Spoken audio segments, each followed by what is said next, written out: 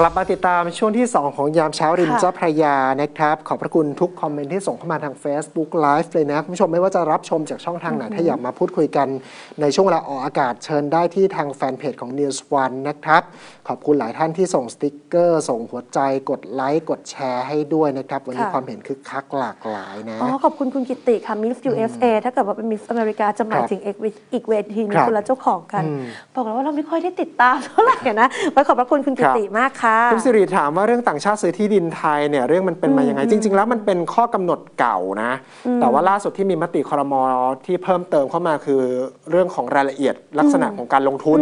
ว่าแบบไหนที่จะเข้าขายบ้าง แต่สรุปสั้น ๆ ง่าย ๆ ก็คือต้องเอาเงินลงทุนเข้ามาไม่น้อยกว่า 40 ล้านใช่ค่ะธุรกิจ 4 กลุ่มค่ะอาจจะเป็นการซื้อพันธบัตรรัฐบาลก็ได้ ระยะค่ะเวลาไม่ต่ำกว่า 3 ปีนะครับแล้วก็จะสามารถถือครองที่ดินได้ไม่เกิน 1 ไร่ใช่ค่ะแล้วก็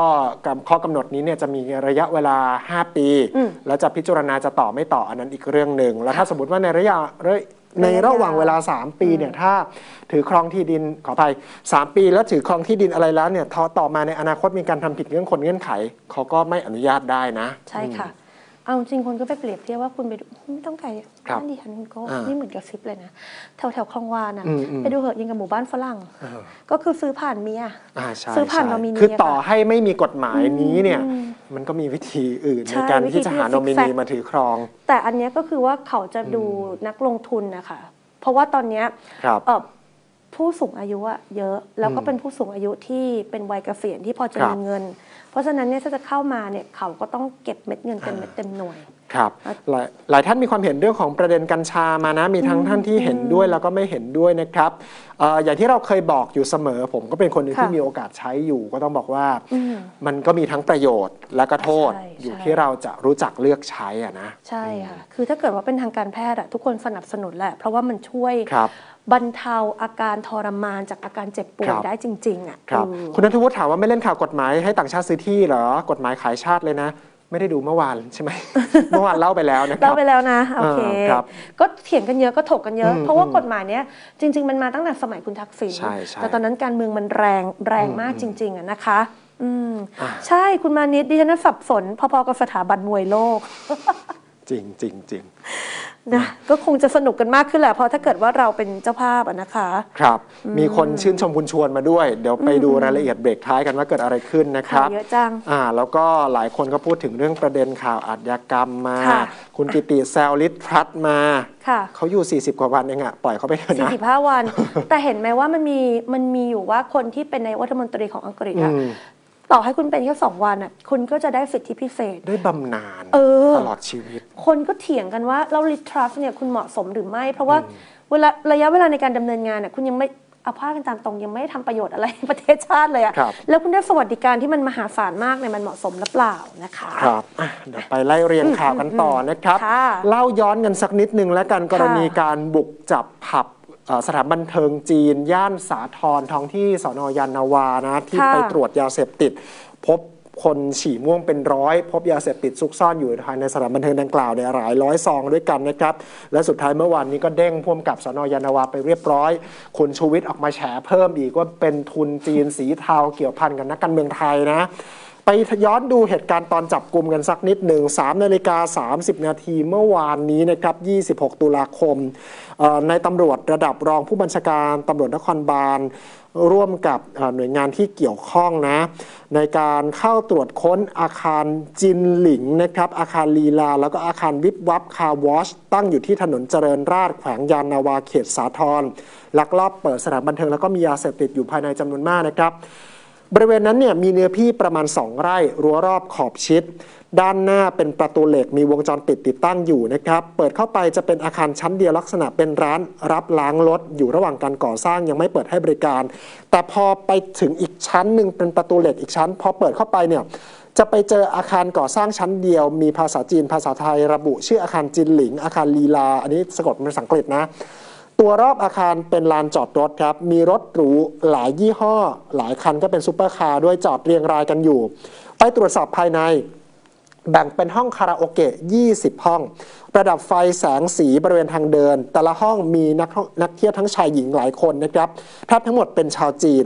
แล้วก็พบห้องเก็บของที่ใช้สำหรับซุกซ่อนยาเสพติดอยู่ภายในด้วยนะครับทางในตำรวจที่นำการจับกลุ่มเนี่ยพลตำรวจตรีทิติธรนะบอกว่าจากการเข้าค้นในวันนี้สืบเนื่องจากนโยบายของผบ.ตร.ในการกวาดล้างยาเสพติด แล้วก็สถานบริการนะครับ จากการข่าวเนี่ยทราบว่าสถานที่แห่งนี้เปิดเป็นลักลอบเปิดเป็นสถานบริการคาราโอเกะให้บริการกลุ่มนักท่องเที่ยวชาวต่างชาติโดยเฉพาะชาวจีน โดยไม่ได้รับอนุญาต แล้วก็มีพฤติการลักลอบจำหน่ายยาเสพติด ให้กับผู้ที่มาใช้บริการจึงขอสารออกหมายค้นนะครับ แล้วก็บุกเข้าไปค้นเมื่อวาน ควบคุมตัวนักท่องเที่ยวเป็นชาวจีน 237 คน เป็นชายสัญชาติจีน 111 คน หญิงสัญชาติจีน 126 คน พนักงานบุคคล ชาวกัมพูชาและชาวไทยอีก 29 คนนะครับตำรวจมีการตรวจหาสารเสพติดนักท่องเที่ยวที่ใช้บริการเนี่ยพบว่ามีสารเสพติดในร่างกายไปร้อยกว่าคน แล้วไปตรวจพบภายในห้องคาราโอเกะห้องผู้จัดการห้องคลังสินค้า มียาเสพติดอยู่หลายรายการด้วยกันนะนับเป็นร้อยร้อยซองนะครับ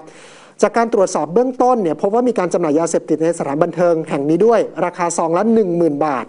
นอกจากนี้เจ้าหน้าที่ตำรวจยังสามารถยึดรถหรูได้อีก 30 คัน เจ้าของรถชาวจีนหลายคันมีการสวมทะเบียน ก็จะมีการตรวจสอบเส้นทางอย่างละเอียดอีกครั้งหนึ่งนะครับ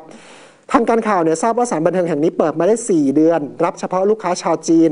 ส่วนคนไทยและชาวกัมพูชาในที่เกิดเหตุเป็นพนักงานร้านแล้วก็ผู้ติดตามของลูกค้าชาวจีนครับตำรวจทราบว่าเจ้าของกิจการเนี่ยก็เป็นทุนจีนเช่นเดียวกัน แต่ยังไม่สามารถเปิดเผยรายละเอียดได้เพราะอยู่ระหว่างการสืบสวนขยายผลนะครับค่ะแล้วก็ล่าสุดเมื่อวานช่วงบ่ายเนี่ยก็มีคำสั่งจากกองบังคับการตำรวจนครบาล 6 ลงชื่อพลตรวจตรีนักครินทร์สุคนทวิทย์สั่งย้ายผู้กำกับการสอนอยานนาวาแล้วนะครับพันตรวจเอกธนโชตเลือกดี ไปปฏิบัติราชการกองบังคับการตำรวจนครบาล 6 โดยขาดจากตำแหน่งเดิม ก็คาดว่าสั่งเด้งจากการตรวจค้นผับจีนแห่งนี้นี่แหละนะครับค่ะอย่างไรก็ตามในประเด็นนี้เนี่ยมันน่าสนใจยิ่งขึ้นไปอีก เพราะว่าเมื่อวานช่วงหัวค่ำคุณชูวิทย์กมลวิสิทธิ์เปิดแถลงข่าวที่โรงแรมเดวิดบางกอก แขวงคลองตันนะ พูดถึงกรณีกลุ่มนายทุนจีน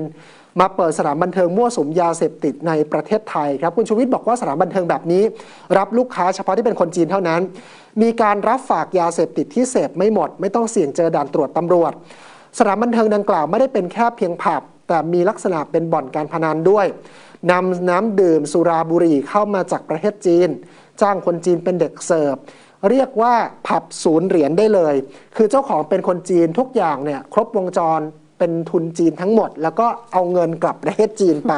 ประเทศไทยแทบไม่ได้ประโยชน์อะไรเลย เข้ามาทำธุรกิจสีเทาอย่างยิ่งใหญ่ ไม่เกรงใจคนไทยแม้แต่น้อย เพราะว่าอะไรในทุนจีนจ่ายหนักให้เจ้าหน้าที่รัฐครับเลยสามารถเปิดธุรกิจสีเทาได้อย่างเต็มที่ เท่าที่ทราบไม่ได้มีแค่ที่นี่ มีย่านรัชดาพิเศษ สุดที่สารห้วยขวางพระรามสองและพัทยา ขบวนการเหล่านี้มีนักการเมืองใหญ่ให้ความคุ้มครองตนมีข้อมูลเกี่ยวกับขบวนการในทุนจีนสีเทาและคนรับเงินผลประโยชน์ ที่ตำรวจต้องรู้ไว้เพื่อปราบปราม และจะมอบข้อมูลดังกล่าวให้กับพลตรวจเอกสุรเชษฐ์หักพาน รองผบตรต่อไป จากนั้นครับคุณชวิตโทรศัพท์สายตรงถึงบิ๊กโจ๊กเลย ขอให้ช่วยปราบปรามกลุ่มในทุนจีนธุรกิจสีเทาซึ่งบิ๊กโจ๊กก็ตอบรับ ยินดีนำข้อมูลที่คุณชวิตมอบให้ไปตรวจสอบต่อนะ ส่วนกรณีหนึ่งที่มีการเสียชีวิตของหญิงชาวจีนในพื้นที่สอนอสุดที่สารนั้น คุณชูวิทย์บอกว่ามาจากการน็อกยาเสพติดในสถานบันเทิงแห่งหนึ่งย่านรัชดาพิเศษ มีความพยายามในการทำลายหลักฐาน ไม่ให้เชื่อมโยงเรื่องของต้นทางยาเสพติด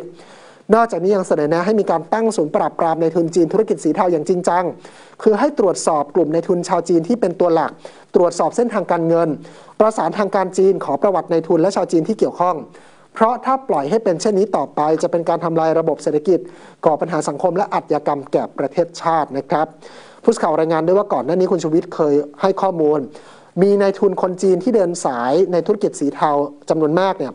มาลงทุนเปิดสถานบันเทิงเกินเวลาจัดให้มีปาร์ตี้ยาเสพติด เปิดบ่อนการพนันกระจายอยู่ทั่วพื้นที่กรุงเทพ เมืองพัทยาจังหวัดชนบุรี และเรื่องนี้ก็อาจจะมีนักการเมืองระดับระดับบิ๊ก ไปเกี่ยวข้องด้วยนะ ผู้สื่อข่าวอะเหมือนรับลูกมาคุณโก็ได้ฟังนะถามว่าเป็นรัฐมนตรีอยู่หรือเปเป็นล่าระดับรัฐมนตรีหรือเปล่าเออคุณชูวิทย์บอกว่าตอนนี้ไม่มั้งแล้วก็ไปพูดถึงเรื่องปงเรื่องแป้งเรื่องอะไรแบบเนี้ยและตอนที่ต่อสายไปหาอืมบิ๊กโจ๊กอะอืมก็บอกว่าเดี๋ยวผมจะเอาข้อมูลให้ทั้งหมดบิ๊กโจ๊กก็บอกเอาพี่เอาข้อมูลให้ผมมาเลย เอาข้อมูลให้ผมให้หมดเลย เพราะว่าเป็นเรื่องยาเสพติดอะยังไงก็ต้องจัดการครับคุณชูวิทย์บอกว่าถ้าให้ข้อมูลไปแล้วอะไม่จัดการเนี่ยก็จะฟ้องหนึ่งห้าเจ็ดนะ จริงๆข้อมูลคุณชูวิทย์ดีขนาดเนี้ย มีข้อมูลเยอะขนาดเนี้ยอืมควรจะทำอะไรให้มันเป็นเป็นมรรคเป็นผลทางกระบวนการทางกฎหมายไหมอะก็นี่ไงให้ตำรวจไง คุณชูวิทย์ไปดำเนินคดีเองไม่ได้ แต่ก็ต้องออกมาแชร์ต้องมาอะไรอย่างนี้ก่อนเออใช่ไหมเออเออบางอย่างพอพูดไปเอ่ยถึงนักการเมืองเนี้ยมันเหมือนแบบเอ่ยไปแล้วไปไม่กได้ ล่าวหา เออ แต่ก็ก็พูดพูดชื่อเขาก็ไม่ได้อะมันก็ต้องเป็นกระบวนการยุติธรรมเดี๋ยวเขาฟ้องใช่ไหมคะ เออก็แล้วสุดท้ายก็ต้องให้ข้อมูลกับเจ้าหน้าที่ที่เกี่ยวข้อง แล้วก็ต้องเป็นระดับบิ๊กที่ ต้องยอมรับว่าต้องทำนะ เพราะไม่งั้นถ้าให้ไปแล้วก็หายไปก็ก็เหมือนหลาย ๆ ครั้งที่เกิดขึ้นมา ก็พอมีอะไรแบบนี้คุณชีวิตก็ออกมาแชร์ทุกครั้งอะแล้วมันก็เงียบไปใช่โอ้ส่วนอีกคนหนึ่งเมื่อวานจับตัวได้เรียบร้อยแล้วนะคะจ่าเบิร์ตหรือว่าจ่าสิบตรีชุติพลนาคแก้วค่ะตำแหน่งคือผอมบุผอบอหมู่งานป้องกันและปราบปรามของสพบ้านหนองเอื้องอำเภอปะเหลียนจังหวัดตรัง ปฏิบัติหน้าที่ช่วยราชการชุดปฏิบัติการพิเศษสีตรัง ก็คือเป็นหน่วยสวัสดของภูทรจังหวัดตรังอะค่ะ ที่เจ้าตัวนั้นไปเที่ยวที่ Country Home สถานบันเทิง แล้วก็ไปใช้ปืนยิงนายจิตกรคงจันทร์หรือในขาว วัย 32 ปีเสียชีวิต แล้วก็มีผู้ได้รับบาดเจ็บอีก 2 คน เหตุการณ์เกิดขึ้นเมื่อ 25 ตุลาคมที่ผ่านมา ล่าสุดตำรวจกดดันอย่างหนักนะคะ เพราะว่าบิ๊กโจ๊กลงพื้นที่ไปเองเลยอะแล้วก็ไปกดดันเลยบอกว่าต้องรีบจับตัวให้ได้ เจ้าตัวเนี่ยโดนกดดันอย่างหนักท้ายที่สุดก็คือมอบตัวค่ะ พลตำรวจตรีนันทเดชย้อยนวลผู้บัญชาการตำรวจภูธรภาค 9 ร่วมกับพลตำรวจตรีชาวลิตเลี้ยงสุพงศ์ผู้บังคับการตำรวจภูธรจังหวัดตรัง และนายตำรวจที่เกี่ยวข้องเนี่ยร่วมกันแถลงข่าวการจับการมอบตัวค่ะของจ่าเบิร์ตหลังจากตกเป็นผู้ต้องหาตามหมายจับของศาลจังหวัดตรังนะคะ ฐานความผิดคือฆ่าผู้อื่น พยายามฆ่าผู้อื่น ยิงปืน ซึ่งใช้ดินระเบิดในเมือง หมู่บ้านหรือที่ชุมชน พาอาวุธปืนไปในเมือง หมู่บ้าน หรือทางสาธารณะ โดยไม่มีเหตุจำเป็นเร่งด่วน สมควรแก่พฤติการแล้วก็ไม่มีเหตุอันควรนะคะ ในชั้นสอบสวนเนี่ยจ่าเบิร์ตแกบอกว่าใช้อาวุธปืนสั้นเป็นปืนพกขนาด 9 มม ยี่ห้อกล็อก 19 มีเลขทะเบียนชัดเจน แล้วก็เป็นอาวุธตราโล่ค่ะ เป็นอาวุธของทางราชการ ยิงจิตกร ยิงในเอกพจน์ แล้วก็ในพิสิทธิ์ เป็นเหตุทำให้ในจิตกรเนี่ยถึงแก่ความตาย เอกพจน์กับพิสิทธิ์เนี่ยได้รับบาดเจ็บ หลังเกิดเหตุจะเบิร์ตกันหนีไปก็ใช้รถยนต์หนีไป ส่วนอาวุธเนี่ยก็ถูกกาดของสถานบันเทิงเนี่ยยึดเอาไว้ได้ หลังจากเกิดเหตุเจ้าตัวหลบไปกลับไปที่บ้านพักของตำรวจภูธรจังหวัดตรังแล้วก็หายตัวไปนะ ช่วงดึกวันเดียวกันเนี่ยเดินทางกลับมาบ้านพักที่บ้านพักของตำรวจภูธรจังหวัดตรังไปหาแม่ แล้วก็ประสานกับทางญาติที่เป็นเจ้าหน้าที่ตำรวจภูธรภาค 8 เพื่อประสานต่อไปยังพันตำรวจตรีขวัญเจริญกระไรทองสารวัตร ของสอพสอพจังหวัดตรังอะค่ะ ซึ่งเป็นผู้บังคับบัญชาเพื่อขอเข้ามอบตัวที่บ้านพักของตำรวจภูธรจังหวัดตรัง ช่วงเช้า 26 ตุลาคม ก่อนจะเข้าตรวจยึดอาวุธปืนยาว พร้อมเสื้อเกราะของทางราชการที่เอาไปซุกซ่อนไว้บริเวณหลังบ้านพัก ก่อนจะหลบหนีไปที่บ้านร้าง เบื้องต้นเจ้าตัวเนี่ยรับสารภาพตลอดข้อกล่าวหานะคะ หลังจากแถลงข่าวเรียบร้อยแล้วเนี่ยนะคะ เจ้าตัวก็มีการพูดถึงอะค่ะเจ้าอขอไปเป็นผู้จัดการค่ะ ชื่อนายธนกฤษวัย 47 ปี ให้สัมภาษณ์อย่างนี้บอกจะเบิร์ดเนี่ยไปแสดงตัวกับทางร้าน ว่ามาสืบเรื่องยาเสพติด แต่ว่าแต่งแบบนอกเครื่องแบบมา ทางร้านก็เลยให้เข้าไปได้อ๋อว่าทำไมถึงพกอาวุธเข้าไปได้อะค่ะ คือพอบอกว่ามาสอบเรื่องยาเสพติดอะโอเค แล้วเคยเป็นกาดแล้วก็รู้จักกันน่ะก็อะโอเคงั้นก็ปล่อยให้เข้าไปนะคะ ซึ่งที่อ้างมาเนี่ยเพราะว่ากลัวลูกค้าจะไหวตัว ซึ่งลักษณะการแต่งตัวคือต้องทำให้คล้ายประชาชนมากที่สุด ร้านเขาบอกว่าเขาไม่ได้ปล่อยปละละเลยเรื่องของอาวุธใด ๆ เลยนะ แต่หลังก่อเหตุแล้วเนี่ยจะให้ทางร้านรับผิดชอบยังไง ตนก็มีลูกน้องหลายชีวิตที่ต้องดูและรับผิดชอบร่วมกัน ผลกระทบที่เกิดขึ้นแล้วจะมาปิดร้านอันนี้ไม่เห็นด้วย เพราะร้านก็ไม่ได้ปล่อยปละละเลยอะค่ะ นี่คือเรื่องจริง มีพยานบุคคลก็คือเป็นเจ้าหน้าที่ของทางร้านนั่นแหละ อย่างไรก็ตามเนี่ยทางร้านก็ต้องขอแสดงความเสียใจกับผู้เสียชีวิตด้วยนะคะ อย่างไรก็ตามความจริงแล้วจ่าเบิร์ดเนี่ยไม่ใช่กาดเก่านะ แต่เป็นตำรวจที่เอามาเสริมในช่วงเวลาที่ลูกค้าเยอะหรือว่าสุกเสาร์เพราะเมื่อมีตำรวจอยู่ที่ร้านเนี่ยจะดีกว่า ถ้าพบลูกค้าพกอาวุธปืนไปตำรวจเนี่ยเข้าไปตักเตือนได้ แล้วจ่าเบิร์ตเองก็ไม่ได้มาบ่อย แล้วก็อันนี้ก็ยืนยันอีกคนหนึ่งนะหลังจากที่เจ้าของร้านหุ้นส่วนร้านยืนยันไปว่า ปกติแล้วอัธยาศัยแกก็ดีนะเออแกก็เป็นคนดีอะ่ะทีนี้ประเด็นในส่วนนี้ยยังไม่ได้มีการชี้แจงใด ๆ ก็เปิดโอกาสให้ญาติ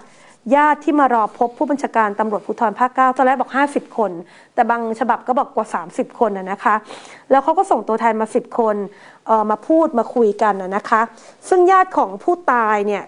ก็คือสจจูนายวิรัตรักนายค่ะ เป็นสมาชิกสภาองค์การบริหารส่วนท้องถิ่น เป็นคนสนิทของผู้ตาย บอกว่าการเยียวยายังอยู่ในสำนวน ต้องให้แล้วเสร็จก่อน ซึ่งก็พอใจนะคะ เพราะผู้บัญชาการรับปากแล้วว่าไม่มีมวยล้มต้มคนดูอย่างแน่นอน เบื้องต้นทางร้านเนี่ยมอบเงินให้กับทางครอบครัวผู้เสียชีวิต 10,000 บาท ซึ่งญาติรู้สึกเป็นกันเองมาก หลังจากแถลงข่าวแล้วบอกนะคะว่าจะเอาเรื่องผู้ต้องหาให้ถึงที่สุด แล้วก็ฝากไปถึงตำรวจว่าถ้าไปเที่ยวแล้วพกอาวุธปืนยังไงก็ต้องถูกดำเนินคดี ซึ่งพวกตนก็พอใจแล้วก็มองว่าร้านแบบนี้มีหลายร้าน แล้วก็เป็นเรื่องดีเพราะว่าคนต่างจังหวัดก็จะได้มาเที่ยวเงินจะได้หมุนเวียน เพราะถ้าเกิดคุมไม่อยู่ต่อไปใครจะกล้ามาเที่ยวนะคะ ส่วนทีนี้พันตำรวจเอกสิทธินันสังคพันธ์รองผู้บังคับการตำรวจภูธรจังหวัดตรัง ที่เป็นผู้รับผิดชอบ แล้วก็กำกับดูแลชุดปฏิบัติการพิเศษสีตรัง หรือว่าหน่วยสวาดของภูธรจังหวัดตรัง ก็บอกว่าชุดนี้ตั้งขึ้นมาหลังจากมีกรณีที่โคราชอะค่ะ ก็เลยมีการตั้งชุดเฉพาะกิจนี้ขึ้นมา เพื่อจะได้เข้าระงับเหตุ แล้วก็ดูแลพี่น้องประชาชนนะนะคะ เนื่องจากว่าที่ผ่านมาเนี่ยชุดนี้เองเนี่ย ก็ออกช่วยเหลือพี่น้องประชาชนเป็นจำนวนมากนะ ไม่ว่าจะเป็นเหตุการณ์สำคัญสำคัญที่เกิดขึ้นช่วง 2 ปีที่ผ่านมา ยังไม่มีข้อบกพร่อง แล้วก็ทุกคนเองเขาก็ปฏิบัติตามกฎระเบียบนะคะ ส่วนการคัดเลือกบุคคลเนี่ยเขาก็จะดูตำรวจที่มีความพร้อม มีความกล้าหาญแล้วก็กล้าจะเสี่ยงแทนพี่น้องประชาชน หรือตำรวจในพื้นที่ อย่างจ่าเบิร์ตเนี่ยผู้ต้องหาเนี่ยแกจบหลักสูตรลาซูนะคะ แล้วก็มาเป็นครูฝึกให้กับน้องๆ พร้อมกับมาเป็นครูฝึกให้กับเพื่อนๆตำรวจทุกโรงพัก เหตุการณ์ที่เกิดขึ้นเนี่ยในฐานะหัวหน้าก็ขอน้อมรับความผิด แล้วก็ขอโทษญาติผู้เจ็บผู้เสียชีวิตด้วย ทุกคนไม่มีใครอยากให้เหตุการณ์นี้เกิดขึ้น ครับ ก็น้ำเมาอะนะเปลี่ยจรินงนิสัยเปลี่ยนชีวิต มีเรื่องกันตั้งแต่ข้างนอกร้านมาก่อนคุณโก้แล้วพอเข้าไปในร้านปุ๊บอะมันมีเรื่องกันแล้วอะก็ไปครับขี่เก้าอี้เขาทะเลาะกันไปทะเลาะกันมา ผู้เสียชีวิตเนี่ยเขาเดินขึ้นไปชั้นสองแต่จ่าเบิร์ตมันมีปืนไงมันก็ยิงเลยอะครับอืมอีกกรณีหนึ่งที่ก็ต้องเป็นอุทาหรณ์สอนใจสังคมเช่นเดียวกันนะครับ เมาแล้วขับไปชนคนจนดูท่าจะหมดอนาคตทางหน้าที่การงานอยู่เหมือนกันนะ กรณีนักฟุตบอลของทีมชนบุรี FC นะครับไปก่อเหตุตั้งแต่เช้ามืดเมื่อวานนี้4นาฬิกา30 นาที ในท้องที่อำเภอเมืองจังหวัดชนบุรีนะครับเพจรถยนต์ชนคนเดินออกกำลังกาย บนสะพานใหม่เลียบชายทะเล ชนละมากวิถีนะครับมีผู้เสียชีวิตในที่เกิดเหตุนางสาวกัญญาผงหัดสบันอายุ 62 ปี สภาพสวมชุดออกกำลังกาย แล้วก็มีร่องรอยได้รับบาดเจ็บ ในที่เกิดเหตุห่างกันไปประมาณ 20 เมตรเนี่ยมีผู้ได้รับบาดเจ็บสาหัสอีกรายนะครับ เป็นชายสภาพขาขวาหักเจ้าหน้าที่กู้ภัยนำส่งโรงพยาบาลชนบุรี ห่างไปอีก 20 เมตร เป็นรถยนต์เก๋งโตโยต้าวีออสสีดำนะครับ สภาพด้านหน้ามีรอยชน ด้านท้ายรถพังยับเยิน คนขับเนี่ยคือวรวุฒิสุขุนาอายุ 28 ปี หรือว่าแบงค์ ผู้รักษาประตูทีมชนบุรี FC ซึ่งเป็นคนขับอยู่ในสภาพเมาสุรานะครับเจ้าหน้าที่มีการตรวจวัดแอลกอฮอล์พบปริมาณสูงถึง 184 มิลลิกรัมเปอร์เซ็นต์แต่เบื้องต้นตอนแรกเนี่ยเจ้าตัวไม่ยอมเซ็นรับสภาพนะว่าตัวเองเมาแล้วขับจริง จากการสอบถามพยานที่อยู่ในเหตุการณ์เนี่ยคุณสเวตบอกว่า รถยนต์เก๋งคันก่อเหตุขับมาด้วยความเร็วสูง แต่ช่วงบริเวณดังกล่าวนั้นเป็นโค้งอันตรายครับ เป็นทางตรงยาวแล้วมาเจอทางโค้งทันที ไม่สามารถควบคุมตัวรถได้ ก็เลยทำให้รถเนี่ยหมุนคว้างไปเฉียวชน เป็นเลนจักรยานค่ะที่มีคนวิ่งออกกำลังกายอยู่จนส่งผลให้มีผู้บาดเจ็บ แล้วก็เสียชีวิตนะ คือในที่เกิดเหตุเนี่ยเห็นร่องรอยการเฉียวชนการเบรกค่ะ กินระยะทางเป็นร้อยเมตรเลยนะครับ ที่หมุนกันไปเนี่ย เหมือนแบบมันมีลูกระนาบแบบคุณโก้ครับแล้วทีนี้พอเจ้าตัวขี่มาปุ๊บอ่าอะคือไม่ได้ปะทะกับผู้เสียชีวิตโดยตรงครับแต่ว่ามันไปเกิดอุบัติเหตุคือรถมันหมุนอ่าแล้วคนที่เขาวิ่งออกกำลังกายเขาอยู่เลนจักรยานเขาก็ครัมาบถูกทางของเขาอะใช่ค่ะใช่ใช่รถก็เลยไปไปไปชนครับนะคะทีนี้มันมีประเด็นที่คนพูดถึงกันค่อนข้างมากคือหลังค่ะเกิดเหตุเนี่ยเจ้าตัวอยู่ในอาการจิตตกเมามากตกใจแล้วก็เมาอืมก็เลยไปโทรตาม เพื่อนรุ่นพี่แล้วก็ผู้จัดการผู้จัดการทีมของชลบุรี FC เข้ามาในที่เกิดเหตุนะครับค่ะศศิศ สิงห์โตทอง ผู้จัดการทีมชนบุรี FC ต้นสังกัดกับเฉลิมพงษ์เกิดแก้วอายุ 36 ปีเป็นอดีตนักฟุตบอลทีมชาติไทย แล้วก็เป็นกองหลังทีมชนบุรี FC เช่นเดียวกันขับโตโยต้าฟอร์จูเนอร์สีขาวเดินทางมาที่เกิดเหตุครับ มีความพยายามจะพานายวรวุฒิเนี่ยขึ้นรถที่จอดอยู่อีกที่หนึ่งตำรวจและกู้ภัยคิดว่าจะพาหนีก็เลยไปขัดขวางเอาไว้ ก็เลยมีการพูดจาเหมือนจะกระทบกระทั่งกันกับทางเฉลิมพงษ์ที่เป็นรุ่นพี่ที่เข้ามาในที่เกิดเหตุนะตำรวจสายตรวจที่จะเข้ามาควบคุมสถานการณ์เนี่ยเหมือนทำท่าจะถูกต่อยเอาอะค่ะแแต่หลบทันนะครับ กู้ภัยและชาวบ้านก็เลยต้องไปล็อกตัวแยกกันออกมาให้สงบสติอารมณ์ จากนั้นก่อนที่เจ้าหน้าที่ตำรวจจะควบคุมตัววรวุฒิไปดำเนินคดีตามกฎหมายนะครับ ที่สพเมืองชนบุรีเนี่ยพันตำรวจเอกนิทัศน์แบบประดับผู้กำกับการเข้าสอบสวนผู้ต้องหาด้วยตนเอง วรวุฒิอยู่ในอาการเศร้าเสียใจครับ ร้องไห้สะอึกสะอื้นตลอดเวลา ยกมือไหว้ขอโทษกับเหตุการณ์ที่เกิดขึ้น บอกว่าผิดไปแล้ว จะขอเลิกดื่มเหล้าอีกตลอดชีวิต เบื้องต้นทางตำรวจตั้งข้อหาขับขี่รถในขณะเมาสุรา เป็นเหตุให้ผู้อื่นถึงแก่ความตายและสาหัสพนักงานสอบสวนสอบปากคำผู้ต้องหายังให้การขอให้การในชั้นศาลนะครับ ส่วนเรื่องการมีการขัดขืนและมีปากเสียงกับตำรวจและกู้ภัยนั้น ทางกลุ่มผู้ต้องหานั้นอ้างว่าต้องการจะช่วยเหลือผู้ก่อเหตุให้ไปพักสงบสติอารมณ์ค่ะในรถฟอร์จูเนอร์เท่านั้นนะ เป็นความเข้าใจผิดกัน ก็มีการขอโทษขอโพย ทางตำรวจที่ตอนแรกถูกทำท่าเหมือนจะถูกชกเนี่ย ก็ไม่ได้ติดใจเอาความเพราะไม่โดนด้วยไงค่ะก็เลยขอโทษขอโพยกันไปเรียบร้อยแล้ว ขณะที่ทางผู้จัดการทีมเนี่ยศศิศผู้จัดการทีมชลบุรี FC ได้กล่าวขอโทษกับเหตุการณ์ที่เกิดขึ้น โดยกล่าวขอโทษแฟนบอลชนบุรีแล้วก็แฟนบอลคนไทย ทางสโมสรมองมาตรการและระเบียบใหม่ของทีมเพื่อป้องกันที่จะเกิดเหตุลักษณะแบบนี้อีกในอนาคต หลังจากทราบเรื่องเราติดต่อกับครอบครัวผู้เสียชีวิตผู้ได้รับบาดเจ็บ ให้ความช่วยเหลือเยียวยาเต็มที่มีการพูดคุยกับหัวหน้าทีมผู้ฝึกสอน สะสมพบประเสริฐผู้บริหารทีมวางมาตรการนะครับเหตุการณ์ที่เกิดขึ้นแม้จะเป็นครั้งแรกของสโมสร แต่ลักษณะแบบนี้เป็นเรื่องที่เกิดขึ้นบ่อยครั้งทั้งกับคนอื่น หรือว่านักเตะสโมสรอื่น ดังนั้นนักเตะต้องรู้ตัวเองดีอยู่แล้ว ดื่มแล้วต้องไม่ขับ เมื่อรู้แล้วแต่ยังเลือกที่จะขับรถอยู่ จึงเป็นเรื่องที่ปฏิเสธไม่ได้ ยืนยันให้เป็นเรื่องของกฎหมาย ในส่วนของสโมสรมีกฎลงโทษก็คือหักเงินเดือน ห้ามเข้าร่วมกับทีม ไม่ส่งชื่อลงเล่นจนกะจนกว่ากระบวนการทางกฎหมายจะสิ้นสุด บอกว่าหลายคอมเมนต์ในแฟนเพจเนี่ยเรียกร้องให้ลกยกเลิกสัญญา เรื่องนี้ในต่างประเทศคงมีหลายสโมสรตัดสินใจแบบนั้น แต่ในมุมของชนบุรีเนี่ยผู้จัดการทีมบอกว่า เด็กเราเมื่อทำผิดกฎหมายก็ต้องรับผลอายุเพิ่งจะ 23 หากตัดทิ้งไปเลยหมายความว่าเราอาจจะตัดอนาคตเด็กคนหนึ่งซึ่งไม่รู้ว่าหลังจากนั้นจะเกิดอะไรขึ้นกับชีวิตเขาหวังว่าเรื่องแบบนี้จะเป็นอุทาหรณ์ให้กับนักเตะหรือทุกคนตระหนักถึงการใช้ชีวิตดูไว้เป็นบทเรียนนะครับ อย่างไรก็ตามวันเดียวกันเมื่อวานนี้สโมสโมสรสโมสรชนบุรี FC ออกแถลงการ์แสดงความเสียใจต่อครอบครัวผู้เสียชีวิต ยืนยันไม่ปกป้องคนผิด ระบุว่าขอแสดงความเสียใจต่อครอบครัวของคุณกัญญาผงหัดสบันผู้เสียชีวิต แล้วก็คุณพงผู้บาดเจ็บอย่างสุดซึ้ง ทันทีที่ทราบข่าวทางผู้บริหารและทุกฝ่ายที่เกี่ยวข้อง หารือกันนะครับ มีมาตรการก็คือพร้อมจะเข้าไปช่วยเหลือเยียวยาผู้บาดเจ็บ ที่รักษาตัวอยู่แล้วก็ดูแลครอบครัวผู้เสียชีวิต สโมสรแสดงจุดยืนไม่เห็นด้วยกับการกระทำของวรวุฒิผู้รักษาประตูของสโมสร กรณีเกิดอุบัติเหตุจากเมาแล้วขับ จนทำให้มีผู้เสียชีวิตและบาดเจ็บ เนื่องจากเราเป็นสโมสรกีฬาฟุตบอล ที่มุ่งหวังให้คนชนบุรีมีร่างกายแข็งแรงปลอดโรค พฤติกรรมเมาแล้วขับสวนทางกับเจตนารมณ์ที่มีนะ ขอแสดงความรับผิดชอบต่อสังคมยืนยันไม่ปกป้องผู้กระทำความผิดจะไม่ส่งวรวุฒิลงสนามในการแข่งขันไทยลีก จนกว่าคดีจะสิ้นสุด และได้รับโทษตามกฎหมาย ส่วนคนที่เข้าไปในที่เกิดเหตุอีกคนหนึ่งเฉลิมพงษ์ที่เป็นกองหลังนะครับที่มีข่าวว่าจะมีการกระทบกระทั่งกันเนี่ยทางสโมสรจะตรวจสอบข้อเท็จจริงทั้งหมด ยืนยันก็จะไม่ส่งลงสนามจนกว่าจะมีผลการตรวจสอบออกมานะ แล้วก็ล่าสุดเมื่อคืนตัวผู้จัดการทีมเนี่ยสศินก็แถลงข่าวขอลาออกจากตำแหน่งแล้ว เพราะว่ายอมรับสารภาพว่าคืนเกิดเหตุเนี่ย มีการไปร่วมงานเลี้ยงงานเดียวกัน แต่เขาอ้างว่าเจ้าตัวเนี่ยอ้างว่าเดินทางกลับมาก่อนหน้าตอนเที่ยงคืนค่ะค่ะแล้วก็ไปอยู่ที่ที่พักค่ะแต่ในแบงค์เนี่ย ออกมาตอนไหนไม่รู้ แล้วก็ไปเกิดเหตุตอนตีสี่แล้วก็เลยโทรตามให้ไปหานั่นเองครับ ไปซื้อเบียร์เพิ่มอีก 2 กระป๋องอันนั้นคือที่แบงค์กล่าวอ้างว่าไปซื้อเบียร์แต่ก็ต้องไปตามต่อซื้อจริงไหมร้านไหนอย่างไร มันเกินตีมันเกินหเที่รืยอว่าจคืนริง ๆ ก็คือก็กินข้ามเทียบคืกันนจนออกมานั่นแหละ คือถ้าเพียบยังไงงานเลี้ยงไงก็เพียบถูกป่ะคุณโก้อืมแล้วไปซื้อเพิ่มอีกอะยังไงครัก็บมีความผิดทั้งร้านที่ขายให้แล้วก็ตัวครับ ของในแบงค์นี้ด้วยนะอ่าคะ เมื่อวานนี้มีภาพอีกภาพหนึ่งออกมานะ ทางผู้บริหารของทีมชนบุรี FC เนี่ยเข้าร่วมงานศพผู้เสียชีวิตแล้วด้วยนะครับค่ะประธานนี่คุ้นเคยกันอย่างดีคุณวิทยาคุณปลื้มตระกูลคุณปลื้มนะประธานสโมสรค่ะก็เข้าไปมอบเงินช่วยเหลือค่าทำศพให้กับครอบครัวผู้เสียชีวิต เป็นเงิน1นึ่งแสนบาทนะครับ บอกขอแสดงความเสียใจกับเหตุการณ์ที่เกิดขึ้น ไม่สามารถปัดความรับผิดชอบได้ เหตุที่เกิดเป็นเหตุส่วนบุคคล แต่กระทบต่อคนอื่น ทางสโมสรเองก็พร้อมจะรับผิดชอบนะ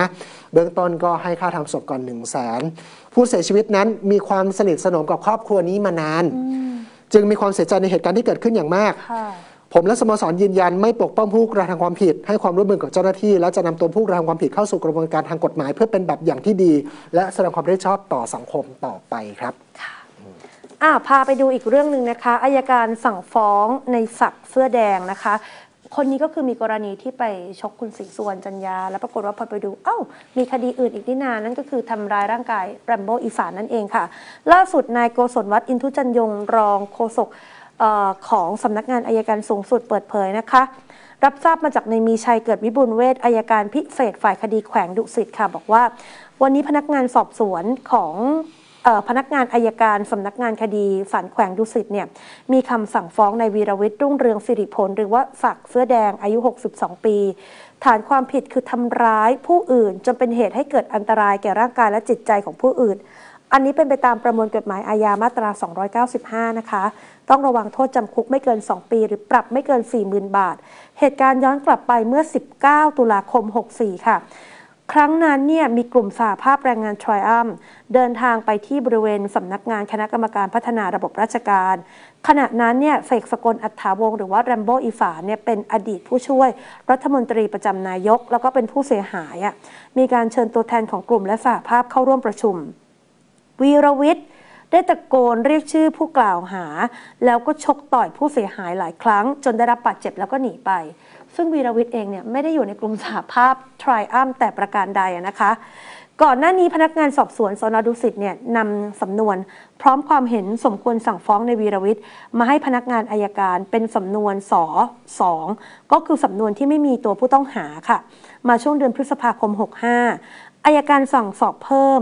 ให้แพทย์ทำความเห็นยืนยันการรักษาพยาบาล หมายถึงของแรมโบ้อะนะแล้วก็ผลการสอบสวนเพิ่ม จึงพิจารณามีคำสั่งฟ้องวีรวิทย์ข้อหาทำร้ายร่างกาย มาตรา 295 เมื่อวานนี้นะคะ แล้วก็จะแจ้งให้ตำรวจนำตัวมาฟ้องต่อไป คดีนี้อายุความ 10 ปีค่ะ จะไปครบอายุความคือ 19 ตุลาคม 2574 นั่นเองค่ะ ครับ ปิดท้ายเบรกนี้นะครับพาไปดูประเด็นเรื่องของปปชที่เอาผิดเอ่อเจ้าหน้าที่ที่ร่ำรวยผิดปกตินะค่ะรวยเกินเหตุไปมากเลยนะครับ เมื่อวานนี้คุณนิวัฒชัยเกษมมงคลเลขาธิการปปชแถลงข่าวกรณีปปชมีมติชี้มูลความผิด คดีร่ำรวยผิดปกติของนายประหยัดพวงจำปารองเลขาธิการปปช มีทรัพย์สินเพิ่มขึ้นมากผิดปกติ 658 ล้านกว่าบาทด้วยกันนะ เอาไปซุกไว้ในชื่อของภรรยาครับ ธนิพาพวงจำปาคู่สมรส อันนี้เราเคยให้เห็นภาพเลยนะครับ เป็นห้องชุดที่ตั้งอยู่ที่เคนซิงตันไฮสตรีทลอนดอนสหราชอาณาจักรมูลค่าเนี่ย4ล้าน9แสนปอนด์หรือคิดเป็นเงินไทย 220 ล้านบาท แล้วก็มีรายการเงินฝากในบัญชีธนาคารอีก 194 ล้าน อันนี้เงินฝากธนาคารต่างประเทศนะ แล้วก็เงินลงทุนอยู่ในต่างประเทศเช่นเดียวกันอีก 243 ล้านบาทด้วยกันนะครับ การไต่สวนเรื่องดังกล่าวสืบเนื่องจากการที่ปปชดำเนินการตรวจสอบบัญชีแสดงรายการทรัพย์สินหนี้สินของนายประหยัด กรณีเข้ารับตำแหน่งรองเลขาธิการปปชแล้วมีเหตุอันควรสงสัยว่าร่ำรวยผิดปกติ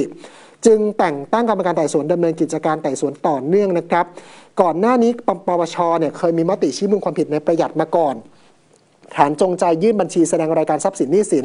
และเอกสารประกอบด้วยข้อความอันเป็นเท็จ หรือปกปิดข้อเท็จจริง และมีพฤติการอันควรเชื่อได้ว่ามีเจตนาไม่แสดงที่มาแห่งทรัพย์ทรัพย์สิน ซึ่งอายการสูงสุดยื่นฟ้องคดีต่อศาลฎีกาแผนกคดีอาญาของผู้ดำรงตำแหน่งทางการเมือง และขณะนี้ก็อยู่ระหว่างการพิจารณาคดีต่อศาลนะครับ ก็เมื่อวานนี้ก็แถลงข่าวเพิ่มเติมว่าชี้ตัวเลขเพิ่มว่างั้นเถอะ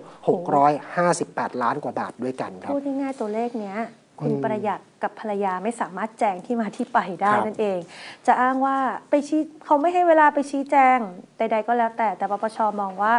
คุณดิแคลร์ที่มาของทรัพย์นี้ไม่ครับได้นะ เดี๋ยวเราพักกันสักครู่ค่ะ เดี๋ยวช่วงหน้าพาไปดูอีกหนึ่งคดีก็คือ คดีที่คุณทักษิณเนี่ยฟ้องหมิ่นประมาทคุณชวนหลีกภัย